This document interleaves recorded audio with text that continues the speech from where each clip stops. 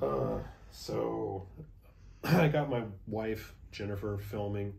Thank you again for making this offer of a refund. I don't mean to threateningly wave a knife, but I'm going to use it to open the box. We're going to see uh, on this journey together what happens when this thing gets tested. I have uh, already lost my test tapes. Here they are. I have, uh, these are DCC tapes that this thing originally took way back in the day. They're really far out. I got a couple of DCC tapes. I'm not sure what's on them and a regular analog tape. And we're gonna go on this journey together. So let's open this up and oh, look at that good stout box. That's a box that a person uses who cares about the quality of what they're shipping. Thank you. I'll have to send you the URL of the video I did about the guy who sent me the item and the box was so crappy that it looked like I was opening a sock, not a box, like a damp sock. All right, hey, look at that. Bubble wrap and lots of it. I'll be the first person to tell you bubble wrap is expensive. Isn't that right, Jennifer? It's very expensive.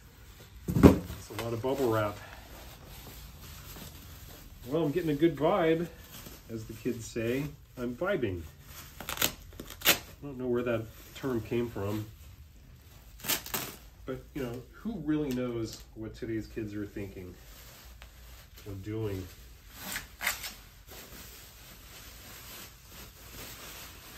Oh, man. And when I sell something, I'll be repackaging this, whatever it is, in this bubble wrap.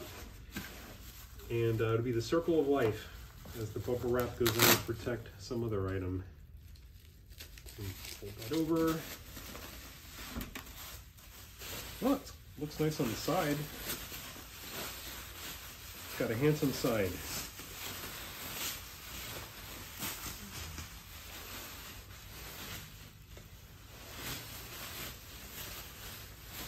Mm, Okay, look at that.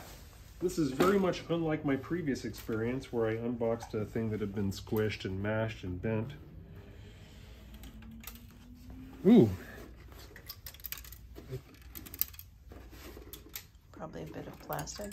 Who knows? yep. We're just gonna pretend that that's perfectly fine. And that's probably perfectly fine.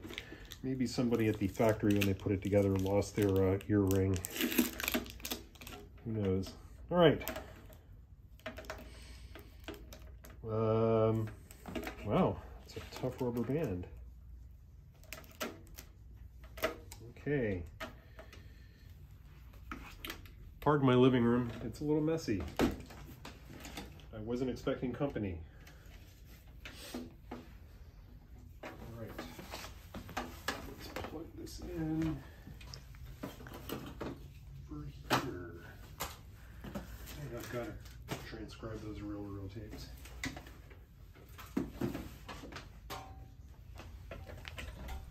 Okay, so it's now plugged in. I'm gonna grab these tapes. I've got some handy headphones. It does in fact have a headphone jack. So that's good. Pan that camera around, let them see, like we're, we're serious here. We got Revox, classic Kenwood, SAE, reel to reel, Sansui, Linn turntable, Nakamichi. We're not playing around. It's a it's an illness. No tape. Well, the drawer works. Again, I don't know what's on these, but we're off to a good start. I think it goes in that way. I think.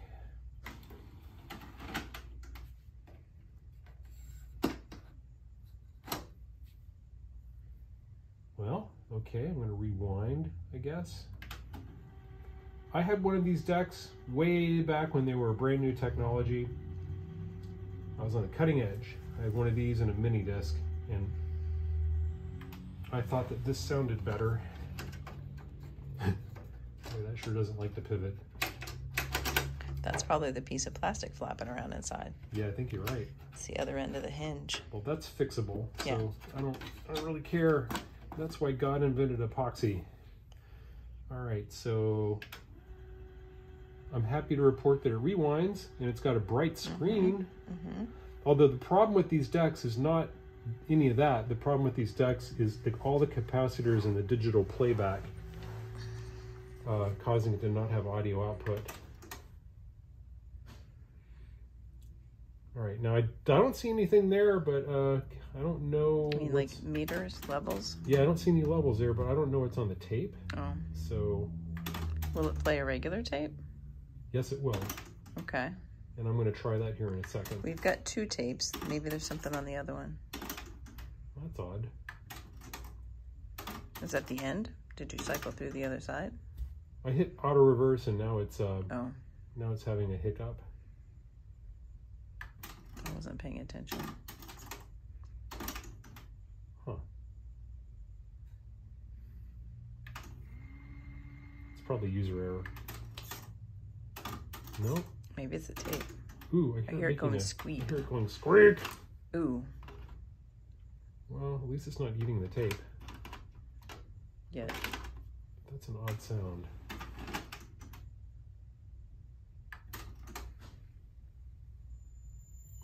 Ooh, squeal.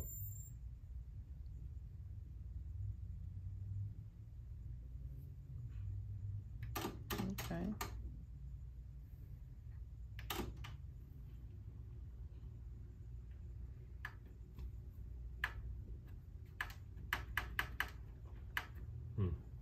Uh, Will it not play if it's fast forwarding? Is it playing at a different speed?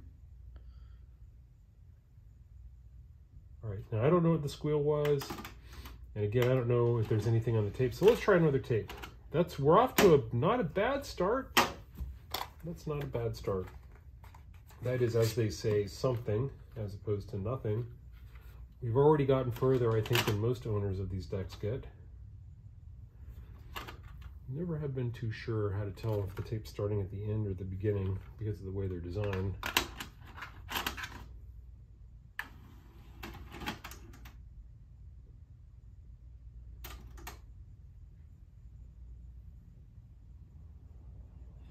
Hmm.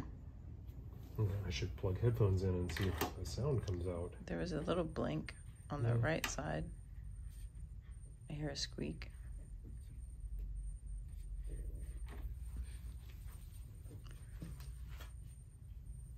Hmm.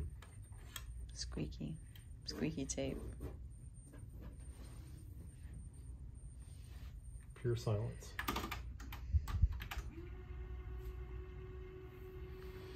Well, we will be moving on to the analog tape here in a moment.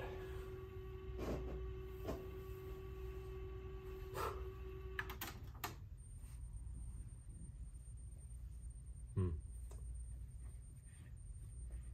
I heard a click. That does not bode well.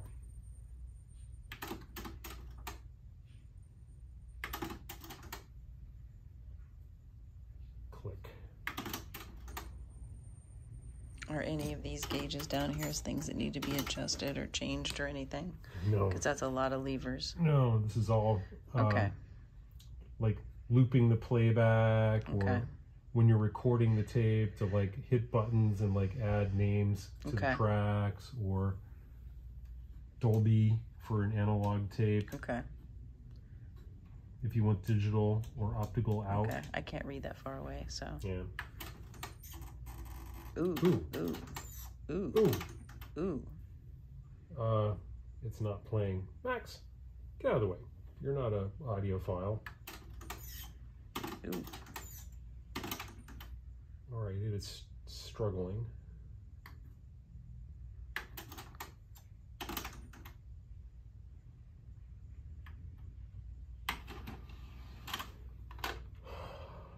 Okay. Well, let's try an analog tape.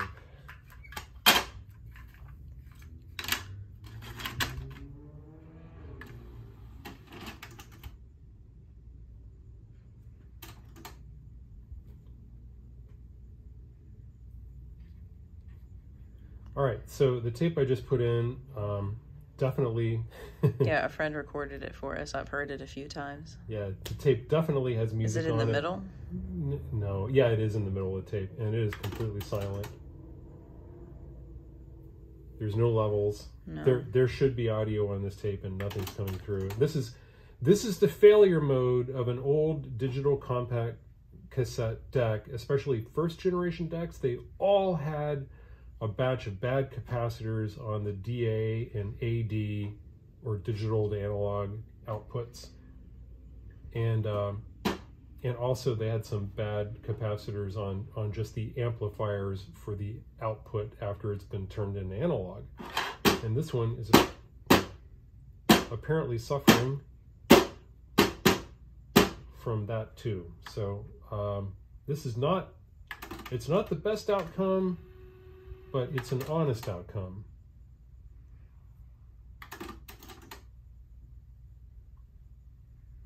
And there is a company that fixes them, but they charge an arm and a leg. And at this point, I have to decide, is that a thing I want to do? But you have seen it here. There's no output. You would have dancing meters uh, if, for any sort of audio sound on the tape. We're not getting anything. And then there's that weird squeal that it occasionally does where it just stops playing. So thank you. I'm going to take you up on your kind offer. I wanted you to know I'm uh, sincere. Uh, thank you for the offer. I appreciate it. And um, I guess I'll stick this on YouTube because it's dawning on me now that otherwise we'll have a hard time getting this to you because the YouTube messaging system will nuke any kind of URLs, but we'll figure it out.